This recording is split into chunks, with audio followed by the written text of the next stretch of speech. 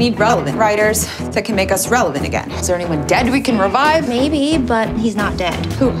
Harris Shaw. He's dead. Bagger off. Let's try again. Really? I mean, he's What was it? probably. Did you know he shot his last assistant because he mistook him for a bear? Oh, I don't How how is that that even possible? I don't believe you can't believe everything. Oh, We at Stanbridge Publishing believe that is your signature, so you owe us a book. Shut up. Anything you want to show me?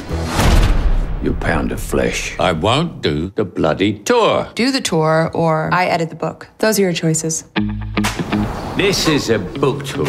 Why don't I read something? Bullshit. Bullshit. Bullshit. No one's interested in the book. They're interested in this freak show. This man is the book reviewer for the Times. I don't like book critics. And I found it totally pessimistic. You're all bullshit. It is not selling, okay? No one is buying it. I can't get him to do anything. All I am to him is his driver and his Scotch Sherpa. Let's go. You want to buy a book? You want to know what I think?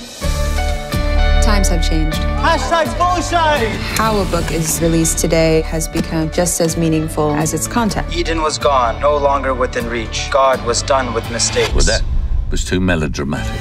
Ah! You vanquished my fears, and for that, I am forever grateful. He's made me nuts, hasn't he? I know. Mr. Shaw, what is your book about? Be brave. Yes. Be truthful. Even the worst of us get lucky.